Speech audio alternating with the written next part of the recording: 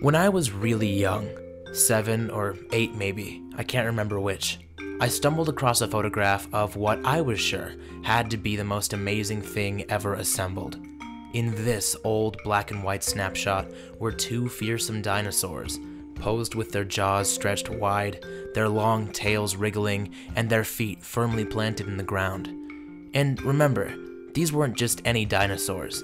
These were skeletons of the greatest dinosaur of all, Tyrannosaurus rex.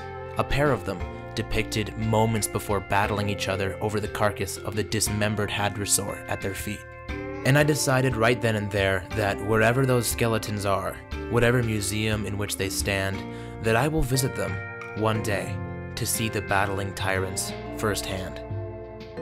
So I'm sure you can imagine my disappointment when I learned that that little dream of mine would never come true because the dinosaurs in that grainy photograph were never really there. It all began with Henry Fairfield Osborn, an experienced fossil hunter and animal expert working at the American Museum of Natural History. Osborn, young and cocky, had big plans for the museum.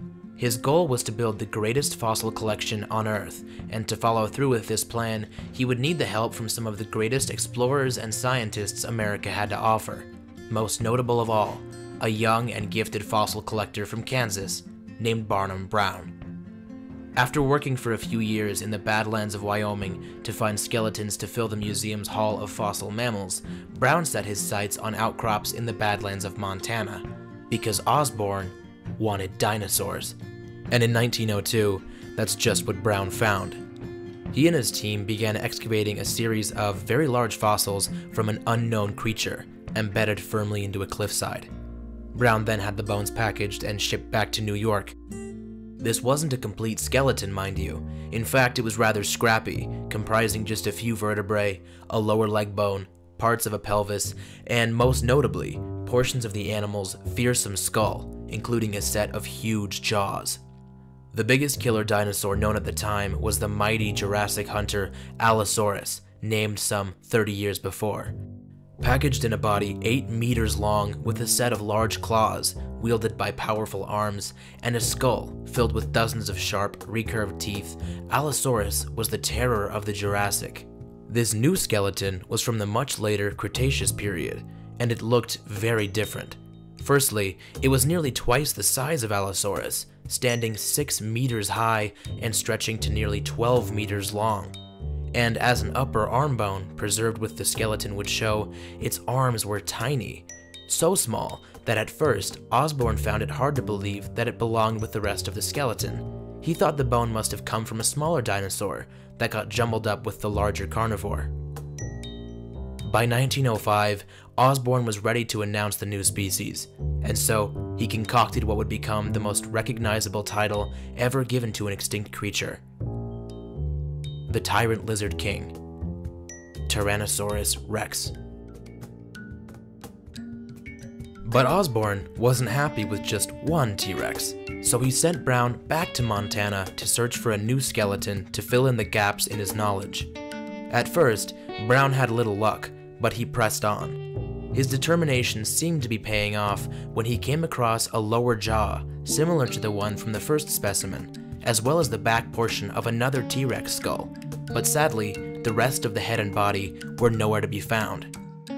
So Brown returned to a string of 15 interconnected vertebrae he'd passed up a few days before.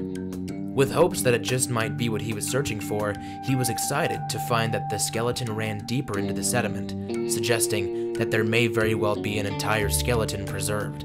His suspicions were confirmed when he made the discovery of a lifetime. Lying beside the skeleton in a single massive chert block was a four foot skull with a complete set of lower jaws studded with dozens of blunt 6 inch teeth. Brown wrote to Osborn to inform him of his success. He had found a second T Rex, one with a skull. Excited by Brown's letters, Osborn wanted to examine the fossil for himself. So he traveled to Montana to see the specimen up close. Excavation proved to be a real challenge. The blocks containing the skull and jaws alone weighed upwards of 4,000 pounds. and they had to devise a plan to transport the enormous blocks of rock and bone out of the quarry and across 45 miles of rugged land where they would be loaded onto a train headed straight for New York. Luckily, their dinosaur arrived safely at the museum 12 days later. As the skeleton was being cleaned and prepared, wonders beyond description emerged from the rock. They realized that their new T-Rex was everything they dreamed it to be, and more. Aside from missing just its legs and its puny arms, their new Tyrannosaurus was essentially complete, and the skull was even more perfect and frightening than anybody could have hoped. Now that they had more fossils to work with, it was time to put the king of the dinosaurs on display. Osborn wanted to see Brown's discoveries displayed in the best way imaginable, and he wanted it done right, so he commissioned the museum's very own E.S. Christman, a skilled artist and sculptor, and an expert at reconstructing past life. Christman meticulously sculpted every single bone in the Tyrannosaurus skeleton to a smaller scale ending up with two miniature replicas of the tyrant, complete with flexible joints, so they could experiment with which posture they would mount the full-sized animals in. Everybody wanted to have some say in how the skeletons would be positioned, but it was a reptile expert from the Bronx Zoo whose idea was finally chosen. A collaborative effort between Osborn, Brown, and Christman allowed the king of the dinosaurs to finally stand tall once again for the first time in millions of years, in all of its one-sixth scale glory. Osborn set the scene as follows. It's early morning along the shore of a Cretaceous lake 4 million years ago.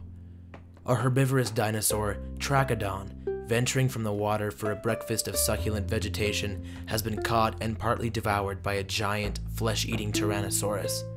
As this monster crouches over the carcass, busy dismembering it, another Tyrannosaurus is attracted to the scene.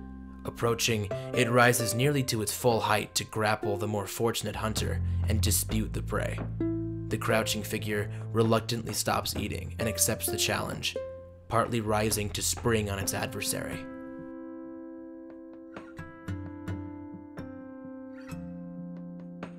At the time when Osborn wrote those words, in 1913, nobody really knew how old dinosaurs were. They had no means of figuring that out. We now know that a scene such as this one would only have been possible some 66 million years ago. Osborn thought that this was the perfect way to display his new dinosaurs. As he writes, the psychological moment of tense inertia before the combat was chosen to be the best show of positions of the limbs and bodies, as well as to picture an incident in the life history of these giant reptiles.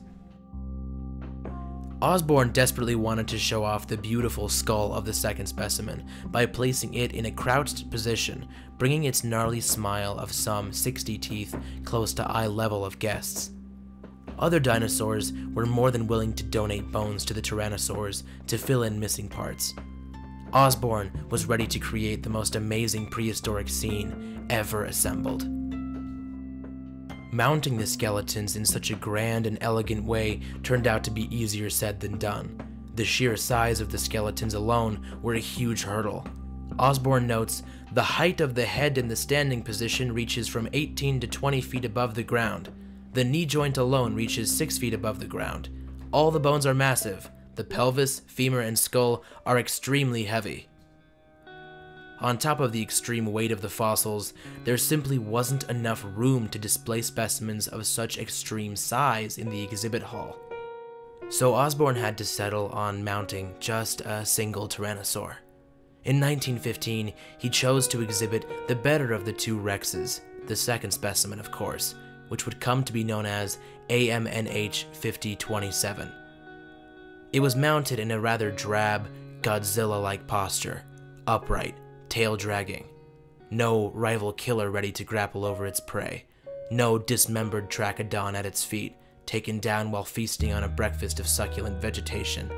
No trace of an early morning along the shore of a Cretaceous lake. But that didn't really matter. T-Rex didn't need to be pictured in the tense moments before combat with the broken remains of its unfortunate prey below to be frightening. The bones themselves got the message across just fine, as I'm sure countless frightened museum visitors would testify. Once the dinosaur was finally unveiled, the public went wild. Visitors flocked to the museum in droves. The New York Times labeled the new species the king of all kings in the domain of life, the prize fighter of antiquity, the absolute warlord of the earth, as well as other ridiculous names. And over the years, as Barnum Brown continued to search far and wide for new fossils to add to the museum's collection, the tyrant lizard stood tall in an increasingly crowded dinosaur hall, sandwiched between a squatting Triceratops and a hulking Brontosaurus. The fearsome dinosaur remained a popular attraction right up until Osborn's death in 1935. For over 25 years, New York was the only place in the world you could go to see a T-Rex. Until the outbreak of World War II, when tensions in New York were high, as fear that a barrage of German airships could level the city at any turn loomed in the air. So, in 1941, Brown prepared for an attack that would never come, and he did the unthinkable. He sold his original 1902 specimen to the Carnegie Museum in Pittsburgh, Pennsylvania for just $7,000 the equivalent of 96,000 in today's value, with hopes that if New York, and by extension the American Museum of Natural History, would be reduced to rubble at the hands of the Germans, along with his world-class killer dinosaur, that at least the original T-Rex, the one that inspired Osborn to invent such a striking name for the animal, would survive. The Carnegie Museum mounted their prized Tyrannosaur soon after, with spare parts sculpted after the New York specimen, and, like the New York specimen, it suffered through the same upright posture. Barnum Brown would spend the next several decades in the American West and in Alberta, Canada, in search of dinosaurs. Visitors to the American Museum reaped the benefits of his labor. Brown hadn't just helped Osborn build an extensive fossil collection, one to rival those of the Carnegie and Peabody museums. He had laid the foundations for what still is the richest collection of dinosaur fossils on Earth. Barnum Brown's work at the American Museum of Natural History lasted until his death in 1963, just a few days before his 90th birthday. Over the span of his career, he collected a total of five Tyrannosaurus rex specimens, as a paleontologist, his gifts to the world can and are still being enjoyed at the American Museum, as many of the specimens in the Great Dinosaur Hall were collected by him while working in the remote Badlands. The first T-Rex ever pieced together, back in 1915, was reassembled in the 1990s to reflect a more natural and scientifically accurate interpretation of the animal's posture with its long, stiff tail raised high above the ground, extending back some 35 feet behind a cast replica of its skull. Beside it is the original skull, displayed behind glass at eye level of the viewers. And while the reputation of Henry Fairfield Osborn has since become tarnished by his vigorously racist beliefs, Barnum Brown is remembered positively.